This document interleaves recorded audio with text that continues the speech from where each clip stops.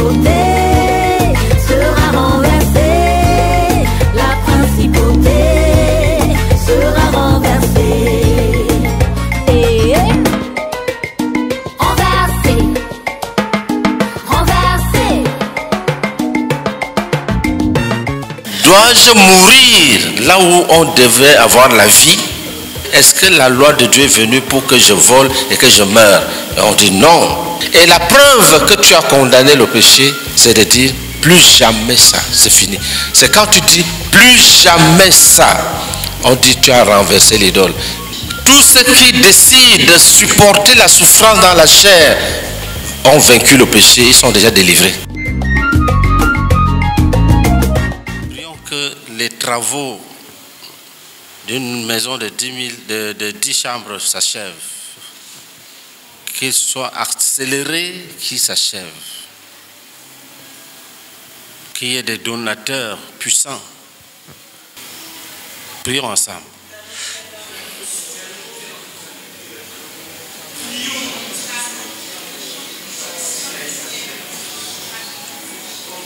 Cinq personnes. Seigneur, merci infiniment pour la maison de 10 chambres, Seigneur, qui sera bâtie. Père, nous prions que tu bénisses les ouvriers. Bénis, Seigneur, oh, de les chefs de chantier, avec toute l'intelligence qu'il faut, avec l'habileté, avec la sagesse, Seigneur, pour bâtir vite et bien au nom de Jésus-Christ. Amen. Seigneur, nous prions que tu accélères les travaux, Seigneur. Notre maison de 10 chambres, Seigneur. Nous prions que les travaux soient accélérés, Seigneur. Nous prions que ce qui peut se faire en deux jours soit fait en une heure. S'il te plaît, s'il te plaît, multiplie les capacités. Donne tout le matériau, Seigneur, pour accélérer les travaux et l'achever à temps. Au nom de Jésus-Christ. Amen. Amen. Seigneur, nous prions que tu interviennes afin que les travaux pour la maison de 10 chambres s'accélèrent, Seigneur. Nous prions que tu pourvoies au fonds nécessaire pour les travaux. Au nom de Jésus-Christ. Amen. Seigneur, nous bénissons ton nom, te rendons grâce, Seigneur, pour la maison, Seigneur éternel, des 10 chambres, Seigneur éternel, qui est en construction actuellement à Tiekwa. Nous prions, Seigneur éternel, notre Dieu, que tu bénisses afin que, Seigneur éternel, les travaux s'achèvent. Nous supplions, Seigneur, ta grâce, Seigneur. Bénis, Seigneur, financièrement, bénis matériellement, Seigneur, et bénis humainement. Au nom de Jésus-Christ. Amen. Père, nous te bénissons pour les travaux qui ont déjà débuté. Nous te supplions, notre Père, au nom de Jésus-Christ. Oh Dieu, que les moyens financiers, matériels, humains soient libérés, Seigneur. Que de grands donateurs soient suscités, Seigneur. Oh Père, que des personnes au cœur disposé et en le fardeau soient libérées, Seigneur. Afin que tous les moyens nécessaires pour l'achèvement rapide de ces dix chambres soient faits. Au nom de Jésus-Christ. Amen. Nous allons prier pour la préparation spirituelle. Un jour, on chassait les démons. Sors, sors, sors, sors, sors, sors, sors. Le démon dit, eh, je veux obéir, à qui? J'ai dit au frère, taisez-vous, suivez-moi. J'ai dit, disons, sors. On dit, dis, on dit ensemble, sors. Après, il dit, je m'en vais. L'une des choses qu'il faut faire quand on veut combattre ensemble, c'est de suivre les ordres d'un dirigeant. On renverse les idoles pour renverser, pour renverser les idoles, pardon, les, fortes, les, principautés, il faut renverser, il faut déraciner les idoles. Et la culture nigériane, ghanéenne, a impacté sérieusement l'Afrique de l'Ouest. On dit, que, souvent que la culture est ce qui reste quand on a tout oublié. Quand le réveil a touché les pays anglophones, nous autres qui vivons sous la colonisation, sous les colons français, nous, sommes les, les cathos. Les cathos ne connaissent même pas prier. Mais les Ghanéens savent prier parce que les Anglais étaient de grands hommes de réveil. Les Écossais, les Anglais. Et ils ont inculqué la, no- la notion de prière dans les colonies. Quand nous avons cru, les petits cathos, Le temps de dire Seigneur Jésus, un anglophone a déjà dit Lord Jesus. Dès que tu dis Seigneur Jésus, Lord Jesus, I rebuke, I shut out, I proclaim. On est là, on les regarde. Donc, on commence à apprendre à prier. Et ils ont ça, ils tapent nos pieds par terre. Donc, ça fait que quelqu'un peut rétrograder. Il boit la bière, il boit le koutoukou, mais il prie. Il prie comme un soulard.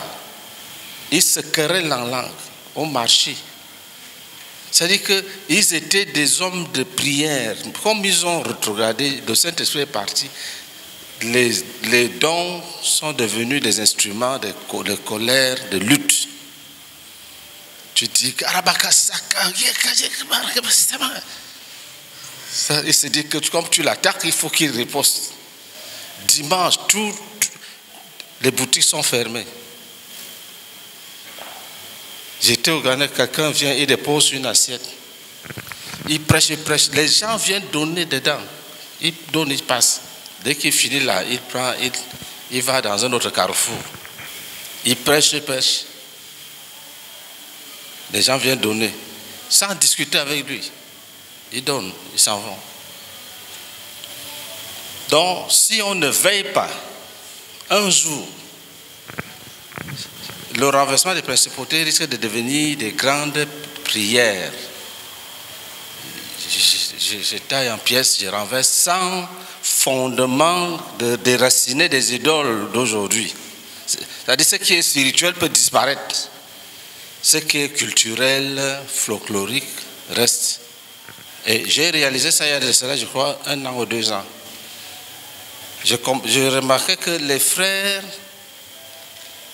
aiment la prière, déracinée, cassée, mais le travail initial qui consiste à regarder les idoles, les enlever pour être agréable à Dieu, ne suit pas, ou alors est négligé. La conséquence, c'est les grandes résistances. Tu peux prier pour quelqu'un 8 heures de temps, il revient te disant, n'a pas changé, j'ai encore vu la même chose. Ce n'est pas possible. Que quand l'Esprit de Christ entre en quelqu'un, il produit la vie, même si tu étais mort. C'est à fait qu'on prie pour quelqu'un 10 heures de temps. Le mari de nuit vient couche, si c'est une femme. On prie pour une femme 10 heures de temps. Le mari de nuit vient et couche avec elle, sans même discuter. Ça doit être condamné. Ce n'est pas, ce n'est pas ça la promesse de Dieu. Donc quand ça arrive, qu'est-ce qu'on fait? On n'attaque pas le combat, on révise les positions de son cœur. On vérifie les attitudes. Est-ce que mes attitudes sont bonnes? Est-ce que mes réactions sont agréables? Est-ce que je, est que je suis ouvert? Quand il y a à manger, quand j'ai à manger, est-ce que je cache pour attendre que tout le monde parte? Et je mange seul doucement. S'il y a un bruit, je mets sous la table. Quand tu vérifies tout ça, la terre va trembler et l'ennemi sera détruit. La sœur Gisèle, c'est mon disciple. Les frères ont prié pour elle. Trois brisements de liens, je crois. Elle, elle rêvait toujours qu'elle est dans une maison comme un bunker. Et quelqu'un était à la porte. Quand elle veut sortir, c'est fermé. Toujours. Quand on a fait les, autres, les premiers brisements de liens, les oppressions sont finies, les maladies sont finies, elle s'est repentie totalement. Et elle me disait que, mais la pauvreté, qu'elle est pauvre, que quand elle a un rendez-vous quelque part, un mari de nuit vient, l'affaire est gâtée. J'ai organisé un autre brisement de liens que j'ai dirigé moi-même. Quand on a prié pour elle et qu'on a, on a terminé, dans la nuit, elle dit qu'elle a vu, elle a rêvé que pour la première fois, elle est sortie de cette prison. Elle marchait à l'air libre pour la première fois. Et il y avait quelqu'un qui venait devant elle. La personne dit, attention, attention, regarde derrière toi. Elle regarde derrière, elle voit que le mari, de, le démon, est en train de la poursuivre. Le, le démon qui était dans le bon cœur. Et le démon l'a saisi et l'a serré. Elle dit qu'elle n'avait même aucune force de résister. Il l'a ramenée dans la prison. Quand elle s'est réveillée, elle n'a dit à personne. Pour elle, c'est fini. Les frères ont prié, zéro. Le, le dirigeant, même le leader, a prié. Voilà ce que le démon a fait. Après la prière du dirigeant, dont elle est restée, peut-être qu'elle avait même honte elle-même. Ça aussi, c'est une ruse du diable. Il ne faut pas avoir honte. Il faut expliquer toujours. Donc, elle n'a expliqué à personne. Quand il y a eu la crise, elle est partie se réfugier chez son cousin bouddhiste. Et le bouddhiste l'a insulté un jour. Il dit, pauvre, tu as quoi? C'est moi qui fais tout ici. Il dit, prends le couloir là. Si tu trouves une boutique qui appartient à un chrétien, tu viens me montrer. Elle a eu mal. Elle dit qu'elle tremblait de colère pendant trois jours. Le troisième jour, elle était sous la douche quand Dieu lui a dit, ton problème, c'est ça, la colère. Tu n'as jamais renversé la colère. Elle a donc décidé de prendre trois jours de jeûne pour enlever la colère de sa vie, en suppliant Dieu. Elle n'a dit à personne. Au deuxième jour de son jeûne, elle entend au-dessus de la prison des bruits, un grand bruit. Et il y avait un éléphant qui cassait la prison, qui a détruit tout. Elle-même se retrouvait sous les décombres et elle est sortie de là. Et dit qu'il y avait comme euh, des fils de fer et quelqu'un l'a aidé à sortir de là. Une semaine après, on l'appelle pour un, un- entretien d'em- d'embauche. Avant le rendez-vous, elle voit l'esprit qui vient encore. Mais il était fatigué et il s'est couché à côté. Ça l'a touché. Quand elle s'est réveillée, elle avait peur. Elle dit que encore. Et Dieu lui dit non. Est-ce qu'il t'a touché Il ne t'a pas touché. Il est déjà vaincu. Elle est partie à l'entretien. Dès qu'elle a fini, elle rentrait quand on l'a appelée pour dire que tu es retenu.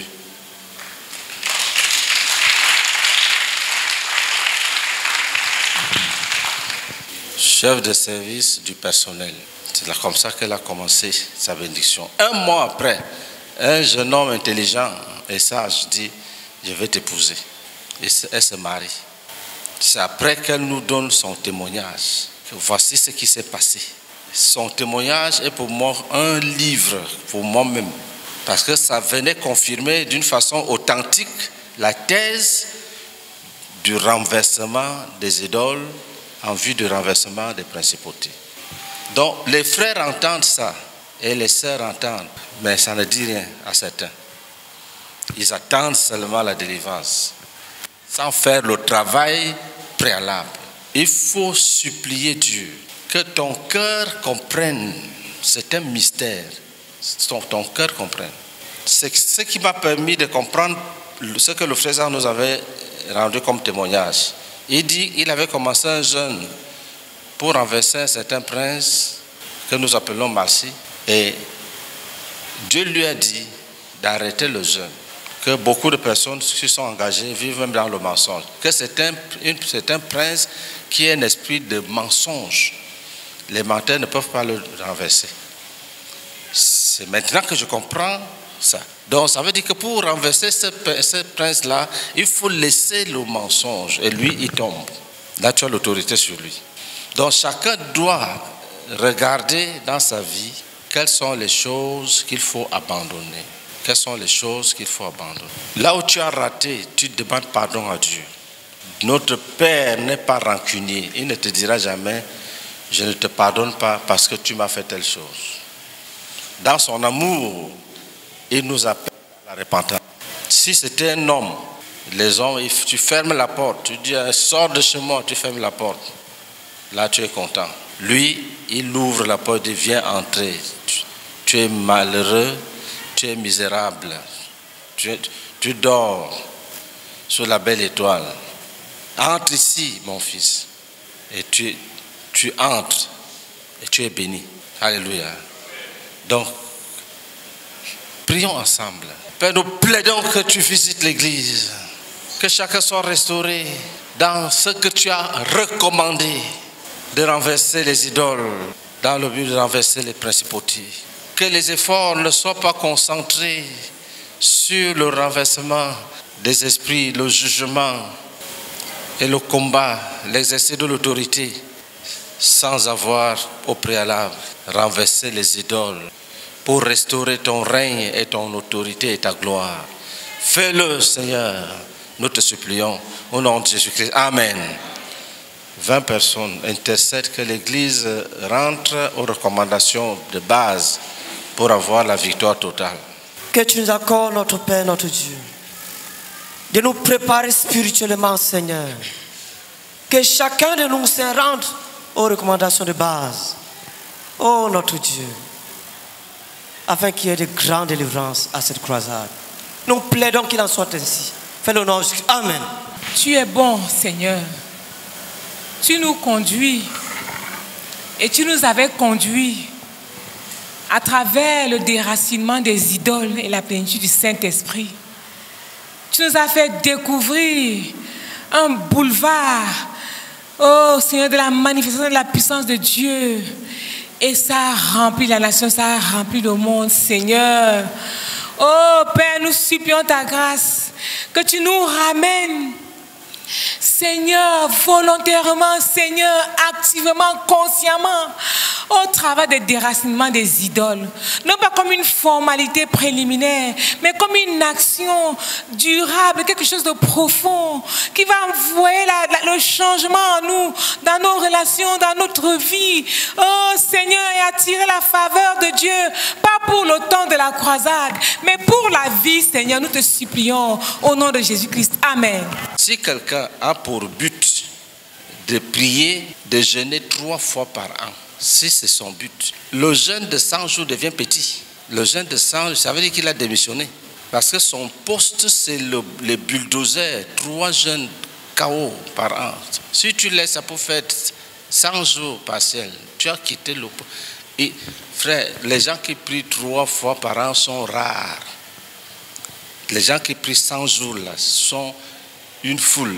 Donc tu as laissé là où il y a l'or pour aller dans la foule. Ça, c'est les gens qui ont l'estomac qui brûle quand ils jeûnent. Donc, ils jeûnent un peu, ils boivent le lait, ils mangent un peu le, la tchéquée le soir, ils font 100 jours. Si certains m'avaient demandé, moi j'allais leur dire que mon frère, reste là où les gens sont rares. C'est ça que le diable, quand tu viens, même Satan dit tu es méchant. Mais quand c'est déjà engagé, il faut engager. Il y aura des mouvements, l'autre se lève et dit, certains disent, je vais lire la Bible en 10 jours. Pendant les 10 jours là, tu fais toutes les autres activités. C'est- comme ça. Sinon, ça va accoucher des petits ministères qu'on ne peut plus maîtriser. On a dit par exemple que dans le, il y a le ministère du jeûne. Tu peux faire trois jeûnes, trois jours en neuf jours. Tu- peux dire que tu es dans le ministère de trois jours. Tu jeûnes trois jours. Tu, tu marques une pause trois jours. Tu, te- tu te prépares trois jours. Tu jeûnes encore trois jours. Tu peux dire que tu vas faire par, par sept jours. Tu jeûnes sept jours. Tu marques une pause de sept jours. Tu te prépares sept jours. Tu jeûnes sept jours. Ou alors 25 jours. Tu fais jeûne 21 jours. Tu marques une pause de 21 jours. Tu prépares pendant 21 jours. Tu jeûnes 21 jours. Tu c'est le jeûne de 40 jours. Tu fais 40 jours. Tu marques une pause de 40 jours. Tu te prépares pendant 40 jours. Tu fais un jeûne de 40 jours. Ça fait trois jeûnes de 40 jours par an. Donc, chacun, selon ses capacités, choisit un. Mais si tu es dans un jeûne comme euh, euh, un jeûne de 40 jours, vraiment, que personne ne te trompe, tu es l'élite dans ce domaine. Là, tu ne, pour rétrograder, tu traites, tu traites avec Dieu. Pour, c'est-à-dire dans une transaction spirituelle, tu dis à Dieu, je veux me reposer cette année. C'est comme euh, maman que non, on lui a dit que l'an prochain, je ne crois pas, ou cette année, l'an prochain, il ne gêne pas. Il y a des gens à qui j'ai dit que toi là, tu te reposes d'abord. Des gens comme les Bernadette, il faut surveiller. Il on peut lui dire que toi, là, cette année, pas de jeûne, tu manges bien. Alléluia. Parce qu'il faut le sabbat au sens spirituel pour revenir avec l'énergie. Alléluia. Et quand c'est comme ça, même si les autres jeunes, tu, toi, tu te je te dis, on m'a dit de me reposer, tu manges bien. C'est comme Laurent, à un moment, il était trop concentré. Quand, il a la prière, il, il est congédié. Bon, attention, si tu fais ça, on va t'imposer le repos. Parce que jeûner et être, et tu ne réponds plus aux questions. Je dis qu'il y a quelque chose à dire, il n'y a rien, pas de contribution, mais tu es dans un jeûne épuisé. On dit il y a délivrance, tu n'es pas là. Là, il faut arrêter. Un jeûne qui te rend inactif spirituellement et intellectuellement doit s'arrêter. Le frère a arrêté un jeûne à 28 jours parce qu'il ne pouvait plus aller enseigner. Et il s'est dit qu'il a vu qu'il peut gagner le salaire qu'il ne mérite pas. Ce sont des choses très sérieuses. Et, il y a même des gens, les gens comme les, les les Bernadette, les vraiment, avant de commencer, de commencer le jeûne, il faut dire à ton dirigeant, et tu le rencontres tous les jours. C'est le seul qui peut te dire arrête le jeûne avec autorité parce qu'il a vu soit que ça te détruit, soit que Dieu même veut que tu te reposes. Mais quelqu'un qui jeûne 40 jours une fois par an doit jeûner, c'est un jour, c'est son jeûne de 40 jours. Ça ne peut pas tuer quelqu'un. Et ne fonctionnez pas dans l'anarchie. Tu as déjà fait un jeûne de 40 jours C'était trois fois. Complet. par an. Non, pasteur. Un, un jeûne de 40 jours complet. Je peux taper Tu as fait comme tu as fait trois déjà. trois jeûnes complets de 40 jours. Oui. Mais ce n'est pas successivement. J'ai fait ça en, en l'an 2019, l'an 2020 et l'an et l'an 2020. Et tu voulais lire la Bible en 10 jours, en 30 jours, 30 jours. en, en priant, Oui, pasteur. sans prier. Si en priant, Il fallait continuer ton programme. Si tu priais, tu devais continuer. Tu renverses les idoles. ah, Tel que tu dis, je sais, que- je pense que tu, n'avais- tu avais arrêté la lecture, euh, la, la prière contre les idoles. Tu avais arrêté. Je n'avais pas arrêté totalement. Je, sélectionnais certains idoles que je constatais dans ma vie. J'ai écrit ton nom ici. On ne sélectionne pas certains idoles. Euh, nous étions en Corée, en Corée du Sud.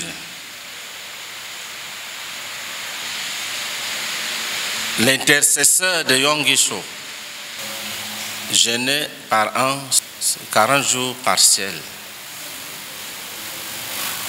Il, nous a, rendu son témoignage parce qu'il a dirigé, c'est à travers lui qu'on a visité la, montagne de. C'est la montagne de prière. Hmm. Qu'est-ce que je veux dire? Ne nous, mé- ne nous méprisons pas. Je suis le missionnaire Boniface Meunier. Un petit sorcier va se cacher pour te tromper que tu ne connais pas Dieu. Il faut le chasser. Et le frère Zach réprimandait beaucoup les missionnaires. Quand il, a, quand il réprimande, réprimande, réprimande, après il dit, mais les nôtres sont meilleurs. Il disait, j'ai voyagé, les nôtres sont meilleurs. C'est-à-dire, je peux vous tailler comme je fais, mais je n'ai pas vu des gens comme vous. Et il ne s'amusait pas. Alléluia. Donc, une petite fille qui veut lire la Bible en 30 jours, ce n'est qu'une chose normale, mais elle ne doit pas arrêter la sanctification. Elle a arrêté pourquoi? Parce qu'elle est embrouillée. Les deux ne peuvent pas être séparés. Mais c'est surtout les gens qui sont dans le ministère du jeune, ils doivent faire attention.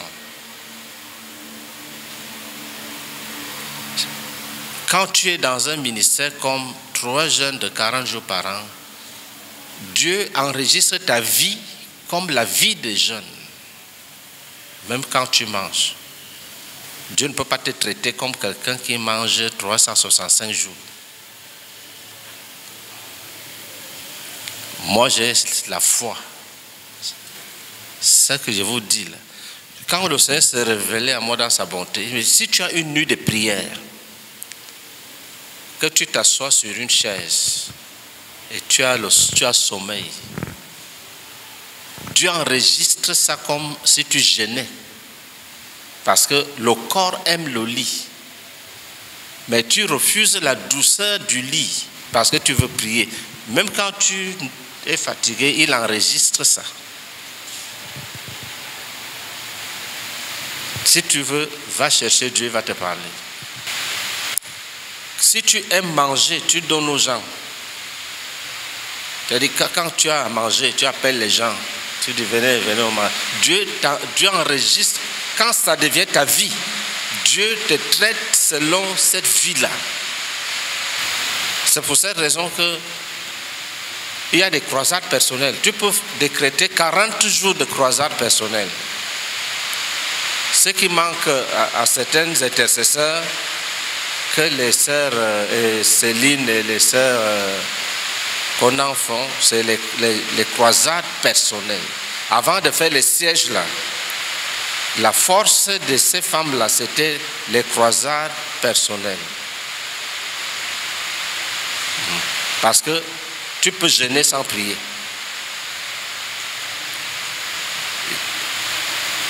Il faut faire des croisades personnelles. Que tu dis, je vais prier 10 heures par jour, moi seul, pendant 40 jours. Et quand tu es engagé dans un tel programme, ne pense pas que ce n'est rien. Si on ne comprend pas, vous verrez qu'à un moment donné, ça va devenir un peu ambigu, flou, et ça va commencer à se mélanger. Protégez vos postes dans la grandeur. Quand le Seigneur m'enseignait sur le renversement des principautés, il m'a dit que c'est le jeûne le plus facile. Parce que Dieu, si tu jeûnes même du matin à midi, Dieu prend. Dieu prend. Daniel mangeait les légumes. Quand on dit qu'il a fait 21 jours, il mangeait les légumes. Seulement qu'il était dans la cour royale où il y, a avait. Essayez de lire la Bible, vous allez voir ce que les gens mangeaient là-bas. C'est bien que quand tu manges les légumes, c'est comme si on te punit. Il y avait les, les, oiseaux, les viandes, les poissons, tout, tout. Il faut lire, c'est dans la Bible. Tout ce que vous pouvez imaginer. Et les gens étaient gros, gras. Donc, monsieur qui nourrissait Daniel a dit que pourquoi vous allez me créer les problèmes? Le roi va remarquer que vous êtes maigre, il peut me tuer. Mangez. Il dit non, laisse-nous manger les légumes. Tu vas voir comment nous serons. Donc Daniel renverse les principautés avec un jeûne partiel de 21 jours. Et il a fait comme ça deux fois. Mais notre Père spirituel, Dieu lui a donné la puissance pour faire 40 jours complets dans cette génération.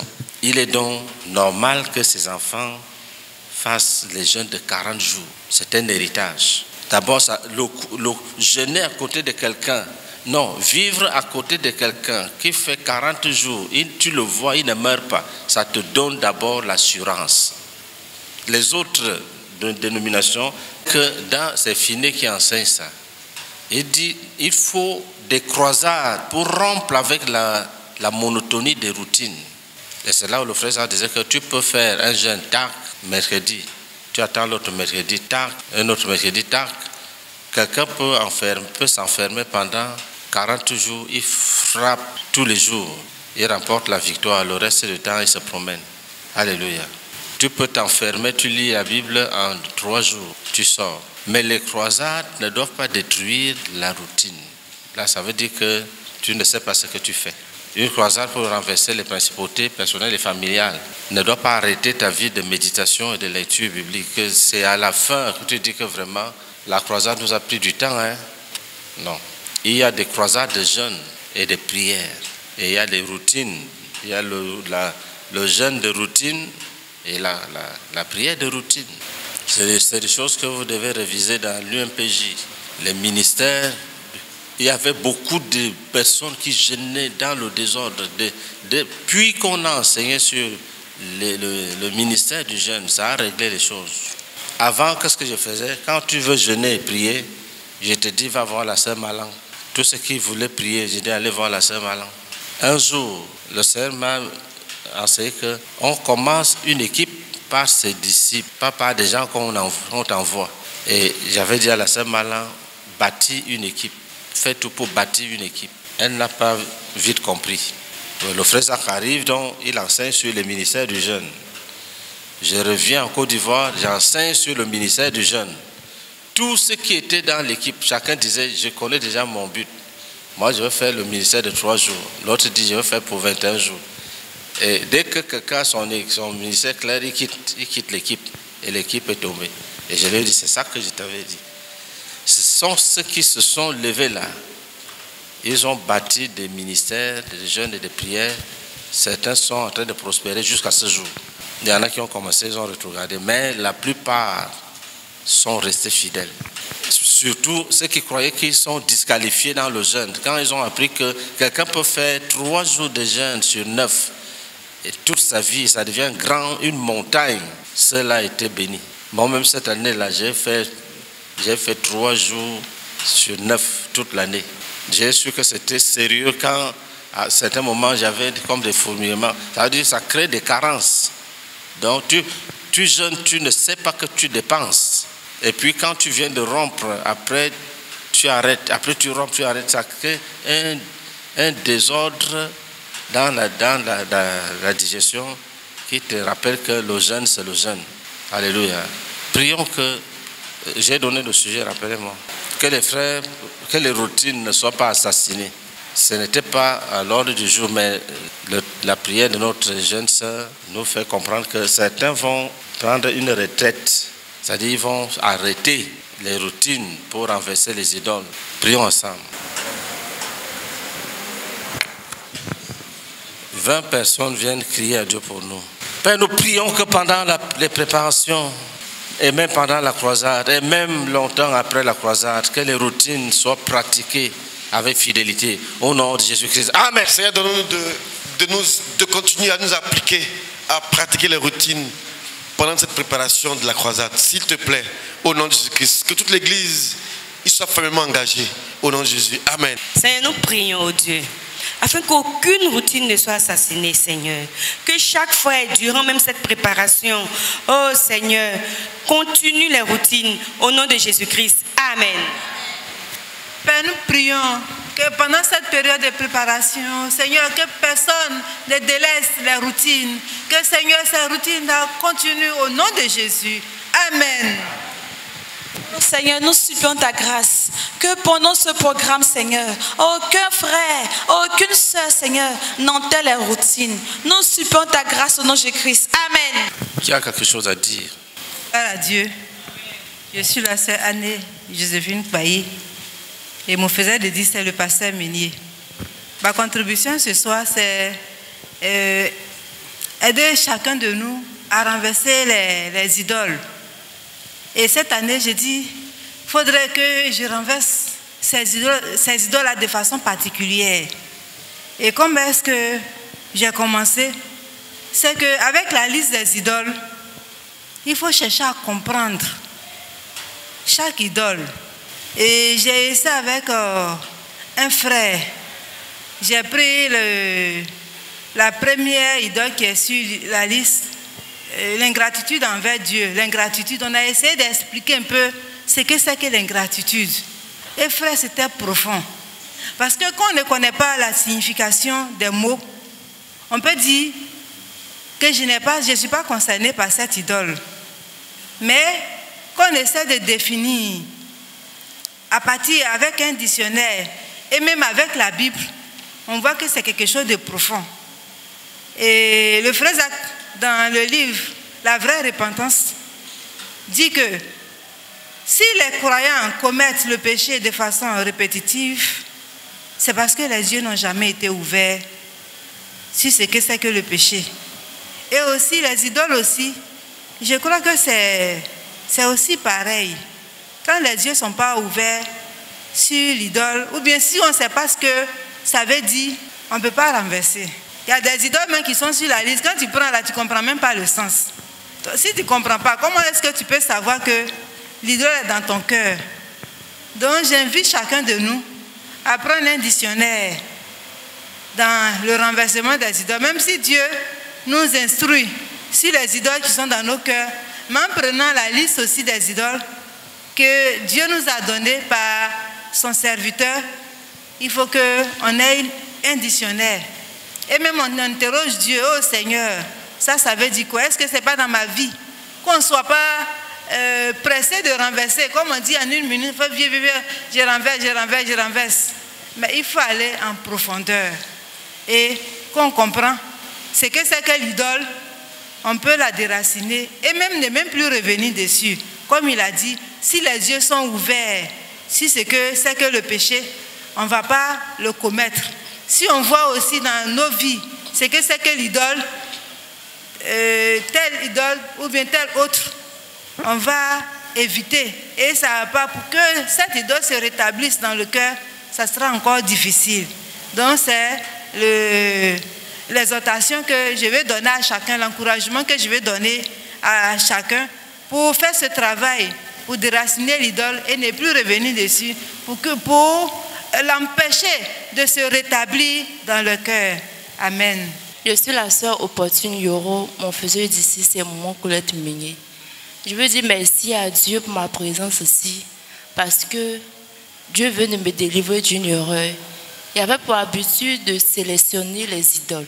Mais aujourd'hui, j'ai compris, quand le pasteur a parlé, qu'on ne sélectionne pas les idoles, mais c'est tout le cœur, on renverse les idoles. Gloire à Dieu. Vraiment, chaque jour, quand il renverse les idoles, j'avais habitude, je me rendais compte que j'ai renversé la même idole, presque quand je renverse les idoles, mais rien ne changeait. Mais aujourd'hui, mon esprit souffre que on ne sélectionne pas les idoles, mais qu'on renverse tous les idoles du cœur. C'est-à-dire qu'on prend la liste, on renverse tous les idoles. Gloire à Dieu. Donc je veux dire merci au Seigneur pour ma présence. Amen. En fait, c'est concernant le, le renversement des idoles. Je, le pasteur Méné, lors de l'UMPJ, le quatrième jour, avait donné un enseignement sur comment déraciner les idoles. Et il avait dit quelque chose qui est, vraiment essentiel, que je voudrais répéter. Euh, il disait que beaucoup de, beaucoup de frères se posent la question de savoir comment est-ce qu'on déracine vraiment les idoles. Et il avait enseigné sur, il dit qu'il allait enseigner sur plusieurs points. En tout cas, moi, particulièrement, ça m'a vraiment béni. Et bon, pour ceux qui n'étaient pas, vous pouvez suivre la vidéo sur YouTube. Euh, le, jour 4 de, l'UMPJ qui vient de passer. Euh, il disait que les points, bon, parmi les points qu'il a détaillés, je vais citer seulement quelques points, il parlait que, comme l'apôtre Paul disait que je ne fais de ma vie aucun cas, comme si elle m'était précieuse. Frère, pour moi, j'ai compris que c'est le secret pour renverser les idoles. C'est parce que ta vie est importante à tes yeux qu'il y a certaines choses que tu vas garder ou que tu ne vas pas laisser tomber. Parce que j'ai compris que tout se résume à là. Tout se résume à là. Qu'est-ce qui a de la valeur pour toi? C'est là la vraie question. Qu'est-ce qui a de la valeur pour toi? Comment est-ce que tu, tu, tu qualifies telle chose étant bien ou pas C'est sur quoi C'est sur quelle valeur Et ça m'a amené moi-même à, considérer toute ma vie. C'est parce que tu penses que ton, ta vie est importante que si on, on, te fait quelque chose, tu peux répondre, tu peux te mettre en colère, parce que tu veux défendre quelque chose. J'ai compris que c'était vraiment un nœud. Parce que d'aucuns pensent que peut-être que les, les idoles, c'est comme un démon ou bien c'est quelque chose qu'il faut attaquer. Ce n'est pas hors de toi, c'est dans ton cœur, c'est toi-même les choses que tu as acquis, tu as donné de la valeur, les choses, les, choses auxquelles tu as donné beaucoup d'importance. Et vraiment, ça m'aurait beaucoup aidé. Donc je le partage pour voir si c'est un frère peut, au cas où c'est un frère pourrait également travailler là-dessus. C'est vraiment pour moi, en tout cas pour moi, c'est vraiment la clé, la clé fondamentale pour remercier les idoles. Il faut dévaluer toutes les choses d'abord avant de les renverser. Parce que tant que ces choses-là, on la volait pour toi, même si tu veux, renverse-la de ton cœur. Dis seulement que je renverse telle idole de mon cœur. Demain, ça sera toujours là. Parce que tu n'as pas encore dévalué cette chose-là. Ça a toujours de la valeur pour toi. Alléluia. Parce que ta vie est importante à tes yeux. Amen. Qui ne comprend pas du tout? Gloire à Dieu.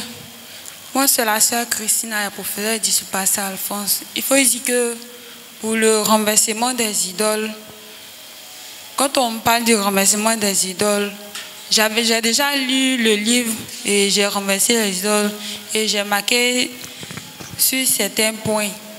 Mais je n'arrive toujours pas à comprendre ce que c'est renverser les idoles. Parce que quand on parle de ça, c'est comme si ça ne me dit pas quelque chose. Parce que je ne sais pas comment je fais, mais je ne comprends toujours pas. Et avant-hier, j'ai partagé ça à mon faiseur. Je lui ai dit que quand on parle de renversement des idoles, c'est comme si ça ne me concerne pas. Parce que je ne comprends toujours pas ce que c'est. Donc actuellement, ma prière, que le Seigneur m'aide, que le Seigneur ouvre mes yeux pour que je comprenne les choses. Et ça m'arrive aussi de comprendre difficilement. Il faut expliquer plusieurs fois, il faut répéter, répéter pour que j'arrive.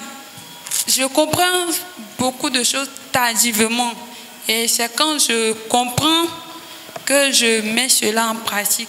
Tant que je n'ai pas encore compris, quand je mets en pratique, franchement dit, ça ne. C'est comme si ça ne me concerne pas. Donc actuellement, ma prière, que le Seigneur vraiment ouvre mes yeux pour que je comprenne et que j'arrive à mettre cela en pratique. Gloire à Dieu. Tu as cru quand? Oh, J'ai donné ma vie au Seigneur en 2019. Tu t'assois, tu prends une feuille de 2019 à 2024. Tu écris le péché que tu as déjà commis. Après, tu- quand tu as donné ta vie à Jésus, tu as tout confessé. Est-ce que tu as encore confessé un péché après? Est-ce que tu as eu à confesser un péché après ça? Oui, papa. Il Ok. y avait tu, écris, tu ne dis à personne, tu écris seulement le nom de ce péché. Tu viens avec, tu, tu as, viens prendre la feuille. Lis. 2 Corinthiens 12, 20 à 21. Car je crains de ne pas vous trouver à mon arrivée tel que je voudrais et d'être moi-même trouvé par vous tel que vous ne voudriez pas. Je crains de trouver des querelles, de la jalousie, des animosités, des cabales, des médisances, des calomnies, de l'orgueil, des troubles. Je crains qu'à mon arrivée, mon Dieu ne m'humilie de nouveau à votre sujet et que je n'ai à pleurer sur plusieurs de ceux qui ont péché précédemment et qui ne se sont pas repentis de l'impureté, de l'impudicité et des dissolutions auxquelles ils se sont livrés. Amen. Qui a parole vivante?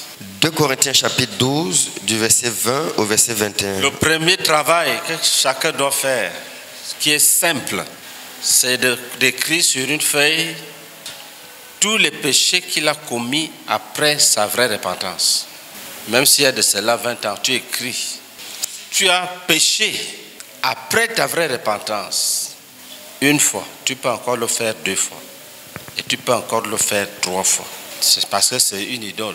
Tout péché mis après la vraie repentance est une idole.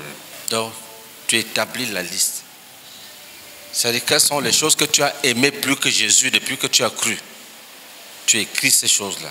Si on t'a proposé un verre de bière et tu as, tu as aimé, quelque chose te dit ne bois pas, tu, et tu regardes, tu es attiré et tu as cédé, c'est une idole. Écris. Parce que si ça revient avec la même teneur, tu vas, tu vas céder. Relis. 2 Corinthiens chapitre 12 du verset 20 au verset 21.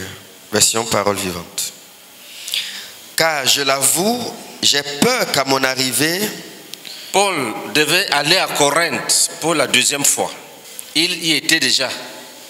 Quand il était arrivé, il avait trouvé des frères qui vivaient dans le péché. C'est des gens qui ils pêchent, ils ne confessent même pas, ils n'abandonnent pas.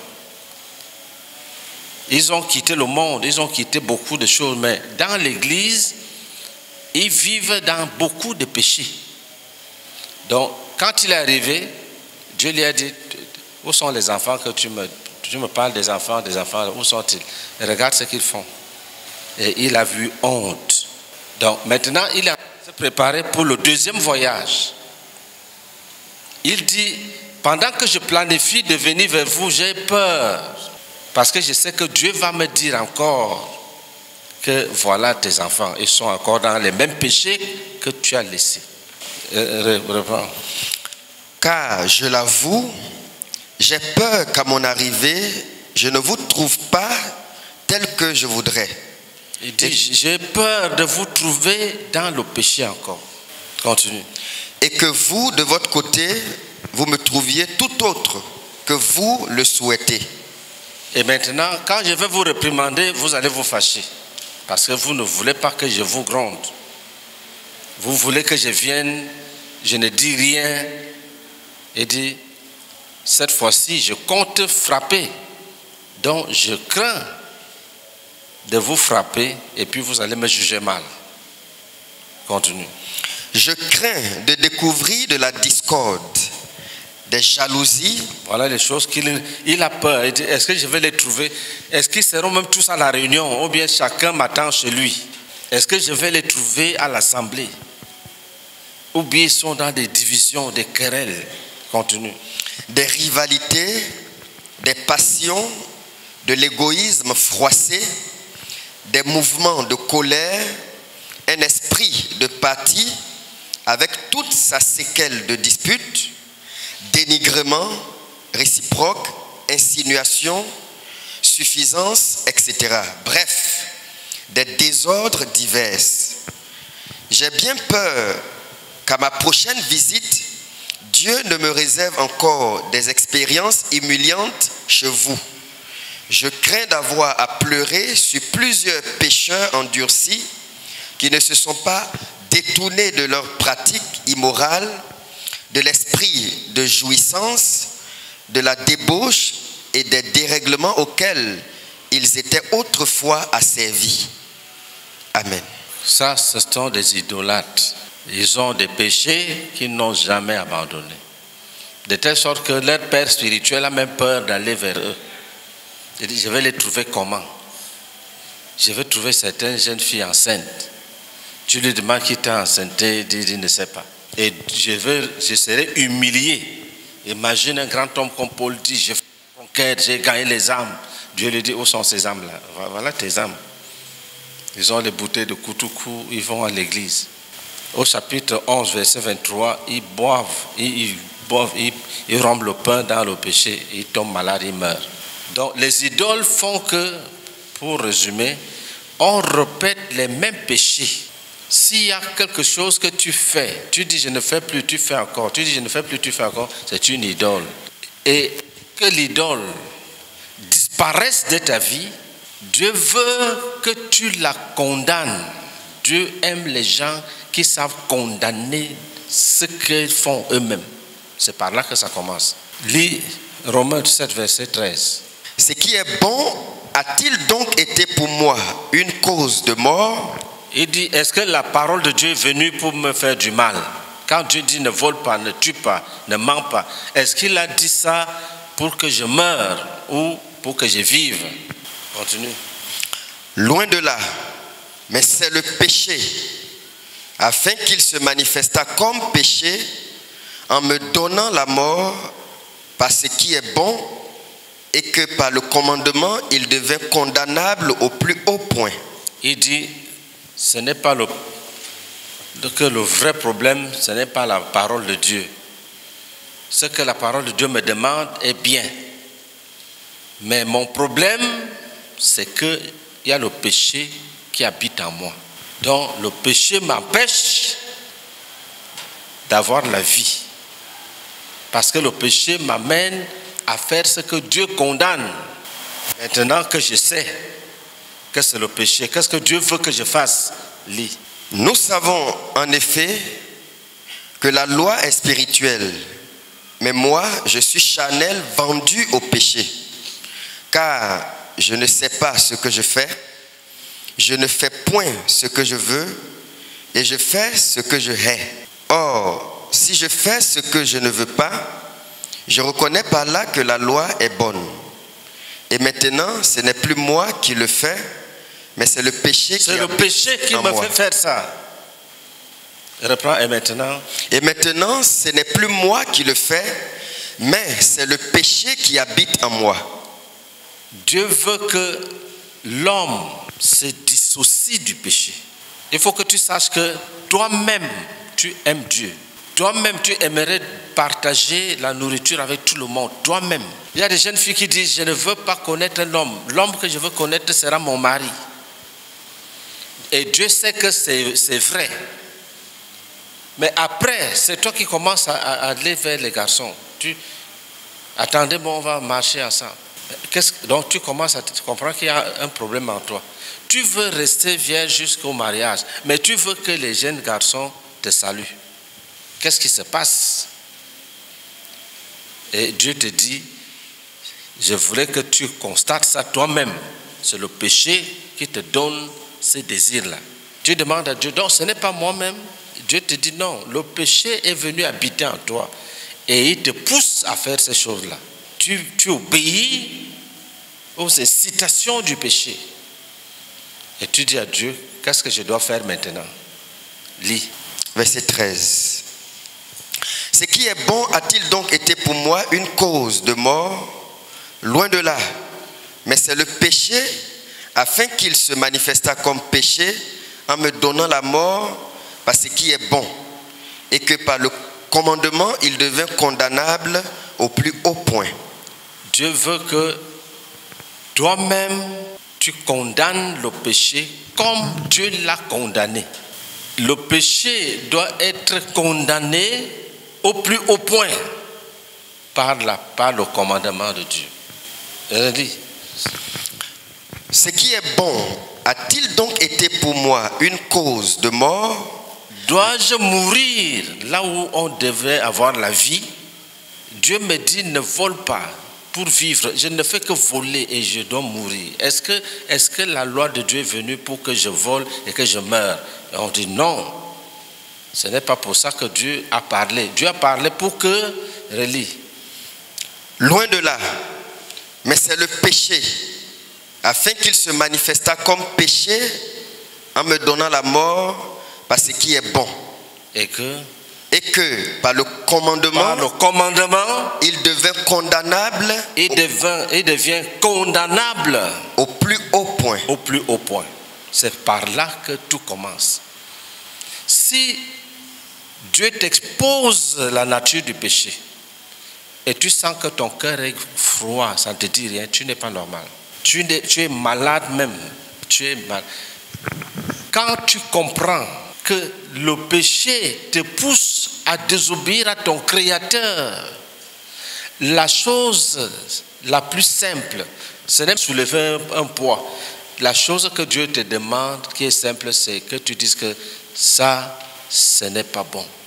Que tu condamnes le péché au plus haut point.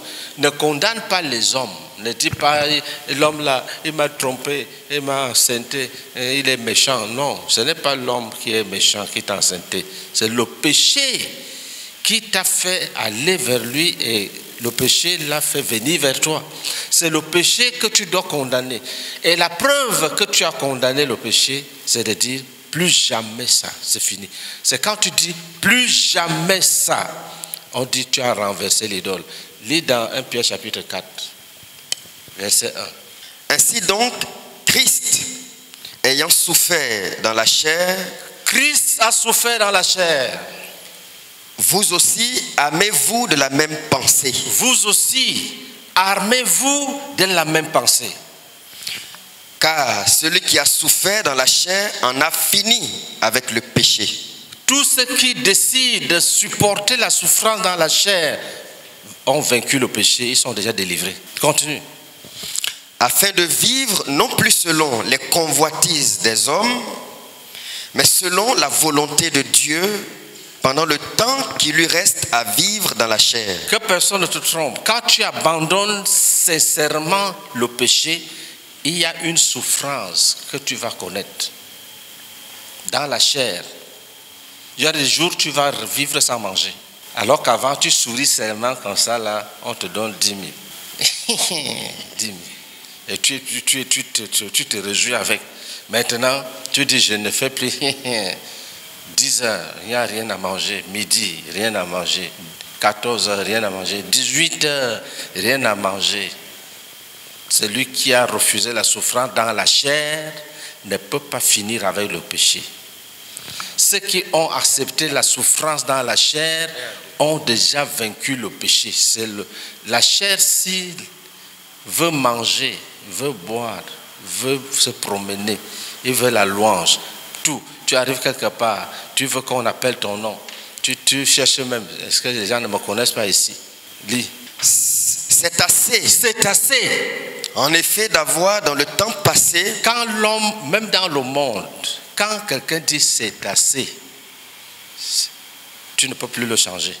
La délivrance du péché, c'est-à-dire le renversement des idoles, est accompagné d'une exaspération, d'une colère qui t'anime. Que ça, c'est quoi même? Qu'est-ce que je fais? Euh, Relis, c'est assez. c'est assez. En effet, d'avoir dans le temps passé accompli la volonté des païens en marchant dans la dissolution, les convoitises, l'ivrognerie, les excès du manger et du boire, voyez c'est quand l'homme, je vous dis la vérité, frère, même toi-même, essaye d'appliquer ça. Essaye d'amener ton cœur au niveau où il va se dire c'est assez. Tu ne seras plus le même. Ça c'est quoi même? C'est trop, trop c'est trop. Quand tu vois un être humain qui dit trop c'est trop, c'est qu'il est déjà en colère contre lui-même dans son homme intérieur et ne peut plus être le même. C'est ce que Dieu veut que chacun fasse. Mais les gens ne font pas ça. Ils caressent. Chacun veut qu'on dise qu'il est gentil, il est bon. Tu dis à quelqu'un que tu vois, il faut abandonner la colère, il se fâche. Il se fâche, il va se coucher, il ne sort plus. Il se fâche. Il veut que tu lui dises que ta colère là est, bien. Ce n'est pas comme la colère des autres. Là, il est souri. Il dit, le pasteur même a dit que ma colère est différente. Donc l'homme aime la séduction.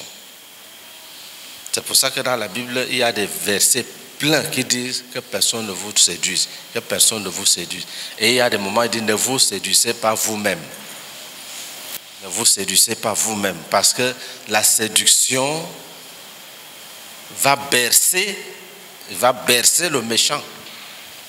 C'est comme un bébé, tu as le bébé, tu dis il faut dormir. Hein, hein, hein. Donc quand tu aimes la séduction, tu es, on te berce, tu dors dans le mal. Tu ne peux, tu es paralysé. Tu ne peux plus renverser les idoles. Tu, as l'impression que tout le monde est mauvais, tu es bon, toi seul. C'est assez. Quand un homme dit c'est assez, l'homme que vous voyez là, si tu as même un ami, fais attention. Ne prends pas ça comme pour acquis. Il peut dire là c'est assez et tu commences à souffrir. Donc on entretient la relation pour que l'autre ne soit pas amené à dire c'est assez, que tu me trompes.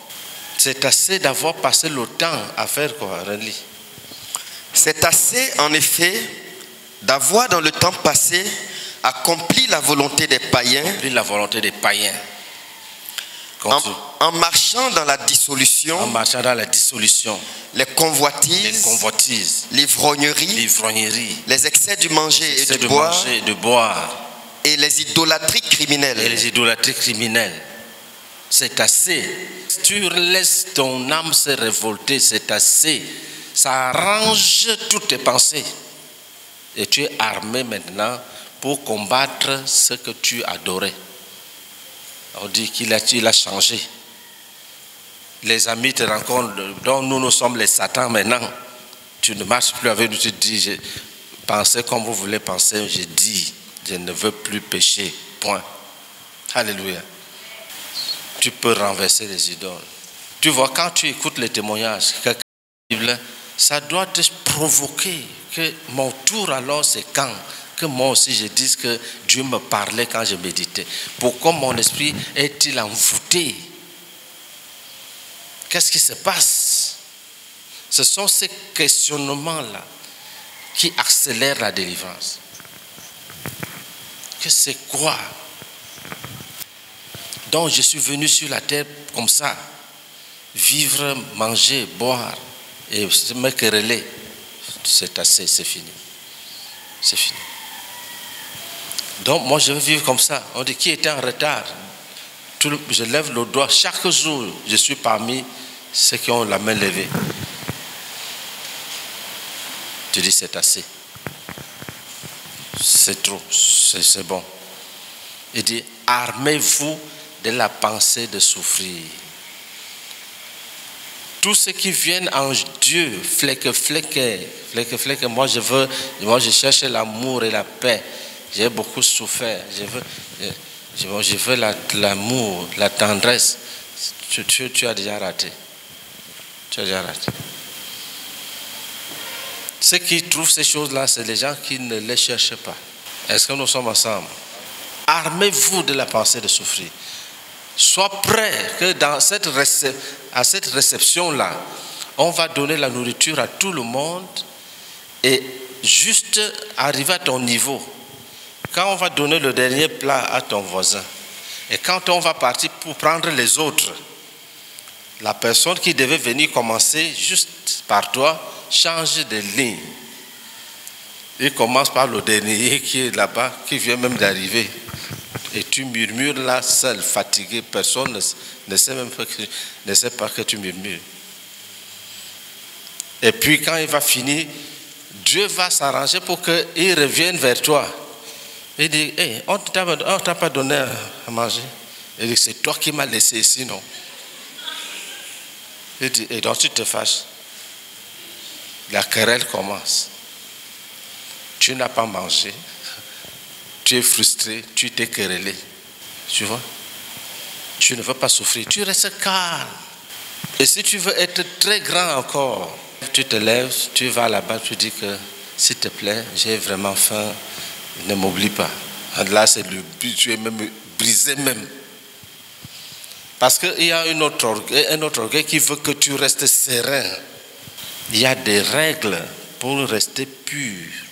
Et la Bible te dit, ceux qui ne sont pas prêts à souffrir ne finissent jamais avec. Quelqu'un te dit, voici mon argent, garde. Dès que tu as faim, tu prends. Tu ne veux pas souffrir, tu bouffes. Mais ceux qui ont appris à souffrir deviennent des géants. Donc l'idole, ce n'est pas... Il y a des gens qui disent déraciner les idoles, comme si les idoles étaient un, un- champ d'arachide. Donc j'ai déraciné 14 tiges aujourd'hui. Les idoles sont les choses et les hommes que tu aimes plus que Dieu. Tu peux prendre ton sac pour aller à la réunion. Quelqu'un qui a l'influence sur toi te dit vos réunions là tous les jours. Et repose-toi un peu. Et puis tu entres dans la maison, tu déposes le sac. C'est ton idole. La personne qui réussit à chasser Jésus de ta vie, c'est ton idole. Tu veux parler, se moque de toi. toi. Lui, il parle, toi tu écoutes. Quand toi tu veux parler, se moque de toi, tu as honte, tu te tais. Pourquoi? Tu ne veux pas briser la relation. Il dit accompagne-moi au marché, vous êtes ensemble. Tu as acheté ça où? À jamais, accompagne-moi. Tu l'accompagnes. Ah, il faut qu'on invite, hein, on a enseignement. Hein. Il dit non, il n'y a pas de problème, allons. Après, tu ton enseignement là continue. Ah, allons à la maison. Tu dis c'est vrai. hein. Allons. C'est celui- celui-là, c'est une idole. Si tu, si tu marches avec deux personnes, ou trois ou quatre, c'est toi qui dois être le chef. Pas que tu dis je suis le chef, tu dis arrêtez-vous, ils s'arrêtent. S'ils disent on ne peut pas s'arrêter, tu leur dis partez, c'est fini. Ils t'ont perdu. Tu dois être le chef. J'ai dit à Joël, tu marches avec les enfants, c'est toi qui dois être le chef, même à l'école. Sinon, ils vont l'amener dans le désordre. C'est toi, c'est toi. Tu héberges quelqu'un à la maison, c'est toi le chef. Donc tu dis culte familial, il doit venir s'asseoir. Alléluia. Sinon, je vais te dire que vous, ne faites pas comme le pape hein, dans ta maison. Prions ensemble. prions que la révélation du travail soit donnée. On a déjà la révélation de la de la réalité des idoles. Maintenant, prions pour la révélation du travail à faire dans toute l'église du nord au sud, de l'est à l'ouest. Prions ensemble. Père, nous prions que tu nous donnes la révélation du travail pratique à faire pour déraciner les idoles. Au nom précieux de Jésus-Christ. Amen. 20 personnes, et, même plus. Oh Seigneur, amène-nous à ce carrefour du assez, trop c'est trop, cette sainte révolte qui conduit, Seigneur, au déracinement des idoles. Au nom de Jésus-Christ. Amen. Seigneur, nous prions, Père éternel, que tu accordes, Seigneur, la révélation, Seigneur, du déracinement des idoles, Seigneur, à toute l'église, Seigneur. Oh Père, s'il te plaît, visite l'église et accorde, Seigneur, la révélation, Seigneur, à tous les frères, afin que, Père éternel, cela soit mis en pratique, Seigneur. S'il te plaît, fais-le au nom de Jésus-Christ. Amen. Seigneur, nous supplions ta grâce afin que tu nous révèles le travail à accomplir pour déraciner parfaitement les idoles de nos cœurs dans toute l'Église. Au nom de Jésus-Christ. Amen. Père, nous prions au nom de Jésus-Christ. Que tu visites ton église, Seigneur, du nord au sud, de l'est à l'ouest, passant par le sang, Seigneur. Et que la révélation divine du travail pratique à déraciner les, idoles de nos cœurs nous soit accordée, Seigneur. Chacun à son niveau, oh Dieu. Nous supplions, Seigneur, que cette grâce soit accordée à ton église afin qu'un travail, oh Dieu, profond soit fait au niveau de nos cœurs d'être rempli du Saint-Esprit. Au nom de Jésus-Christ. Amen. Prions à langue.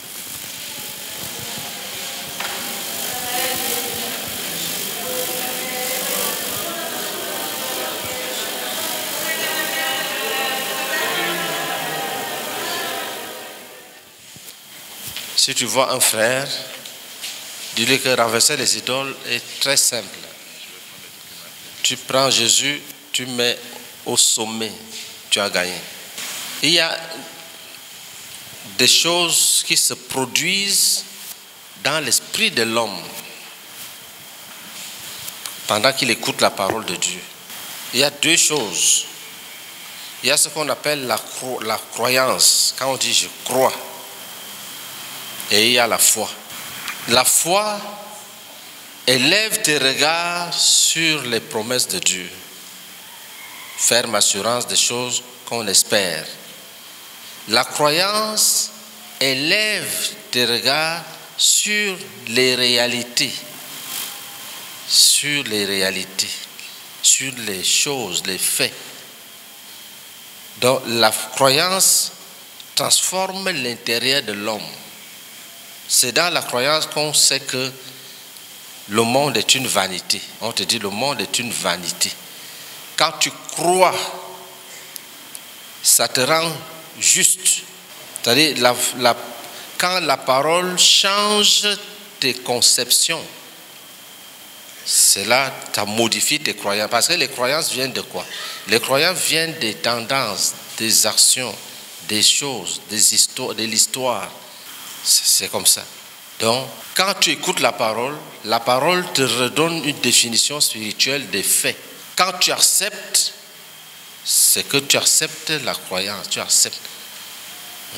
La croyance est fondée sur les choses qui se sont passées.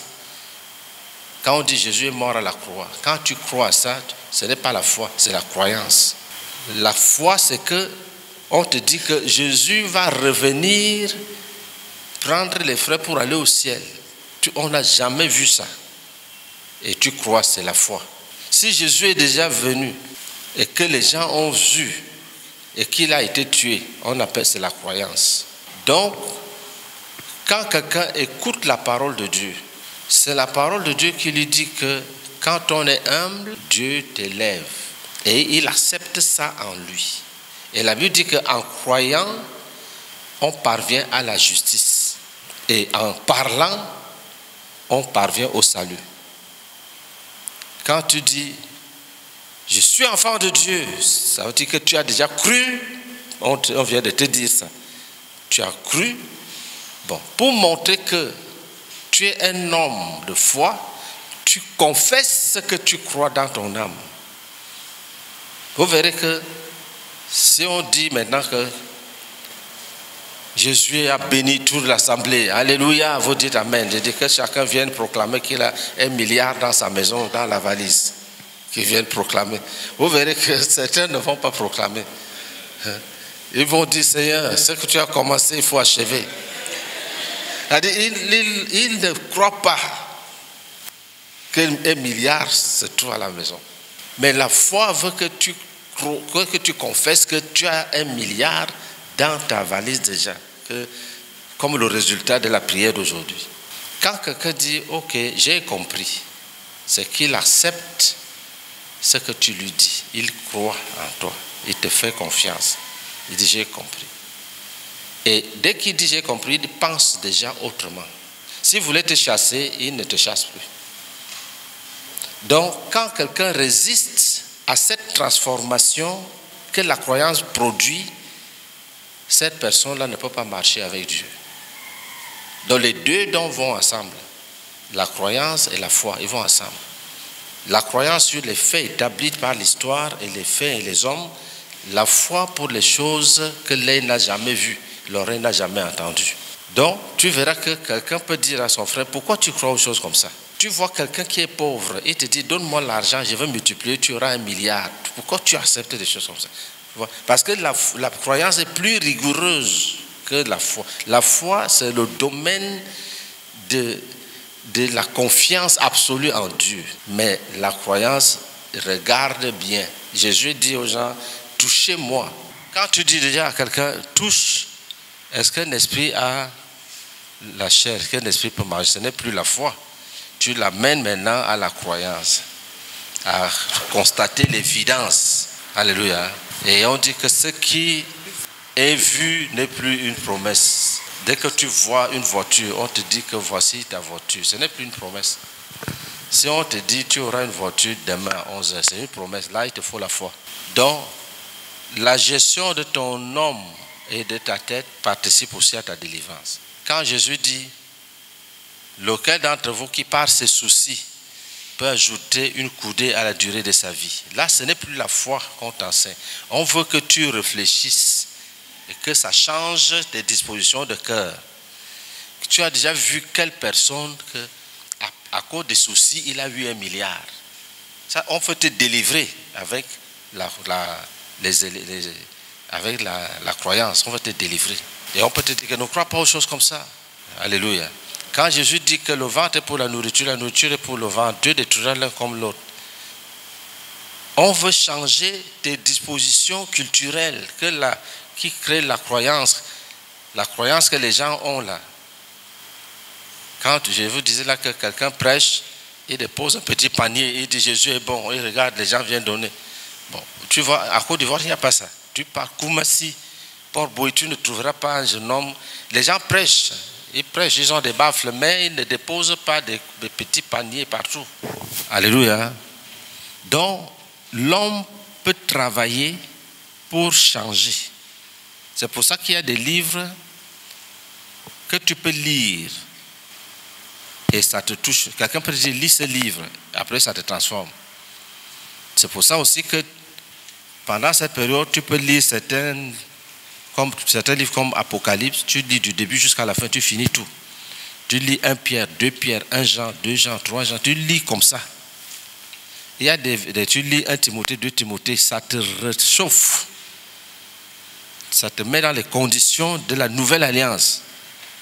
Et ta foi est réveillée. Et comme la jeune sœur, euh, Maman Colin lui disait que tu peux lire la Bible comme un, comme euh, un miroir.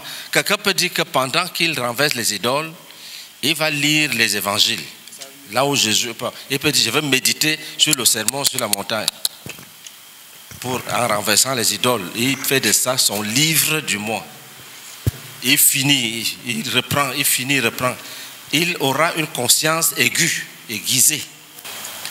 Quelqu'un peut même prendre un frère qui, qui craint Dieu et dire on va travailler. qu'est-ce que tu vois dans ma vie? Il peut dire que frère, si je te dis, tu, ne vas pas me chasser. Euh, Les petits comme les Jocelyn, là. Tu l'appelles, tu dis, frère Jocelyn, toi là. Ton orgueil. Il dit, c'est vrai, je suis orgueilleux. Ah, non, il, il- t'explique. Et puis tu pries, nous, quand le frère nous bâtissait, il prenait le chemin du caractère chrétien. Deux, deux personnes. Vous vous retirez. Je peux me retirer avec le frère Toali. Je dis, frère Toali, toi, là, non. Quand on te regarde, tes paroles que tu dis là, c'est dur. Tu dis, tu as ici 1 sur 5, 1. Lui aussi te dit que pour toi-même, c'est zéro. Vé- Véritablement. hein. Et puis vous priez. On a fait ces exercices-là. Aujourd'hui, tu essaies de critiquer quelqu'un. Tu vas passer le temps à demander pardon à son pied, à à sa main, à sa tête. Il peut te dire que j'étais pardonné, mais mes mains ne vont plus te toucher. Prions ensemble pour les gens qui travaillent à Tekwa. Que personne ne se blesse, que la pluie, ne les tourmente pas. Et puis on va se séparer. Père, nous te bénissons pour tous ceux qui travaillent à. Konde Rabashava.